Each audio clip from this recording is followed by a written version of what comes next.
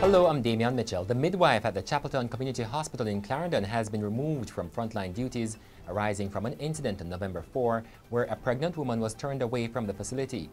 The woman eventually gave birth on the sidewalk outside the hospital. A new Gleaner commissioned survey has found that 6 out of 10 Jamaicans head to private doctors instead of government-owned facilities when they have a health problem. And they say this is because of the long wait time poor medical service and bad attitudes of some staff members in public facilities. A St. Andrew businesswoman has been charged with murder four months after she was issued a licensed firearm. Following a ruling by the DPP, 44-year-old Carlene Spence was charged with the September shooting death of a man at the Constant Spring Arcade.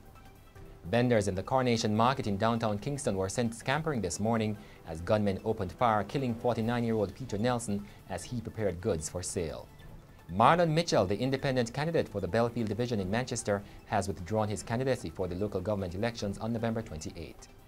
In sports, Clarendon's Lennon High will meet St. Elizabeth Technical in Friday's final of the ISSA Flow Ben Francis competition. Lennon advanced after beating Cornwall College 1-0 in the semis in Santa Cruz today. In your weather forecast, on Wednesday morning, expect isolated showers across eastern parishes. In the afternoon, there will be scattered showers. And that's it for the Gleaner Minute. I'm Damian Mitchell.